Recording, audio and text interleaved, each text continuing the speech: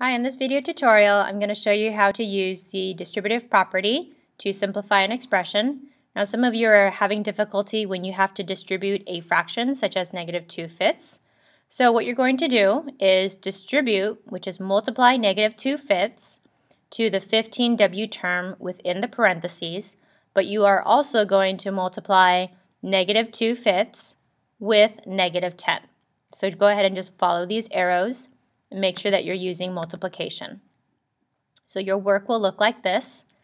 Next, two, negative 2 fifths times 15w is negative 6w, and negative 2 fifths times negative 10 gets you positive 4.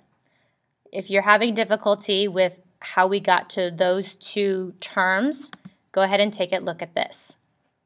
Negative 2 fifths times 15w over 1 Notice you can cross cancel. 5 goes into 15 three times.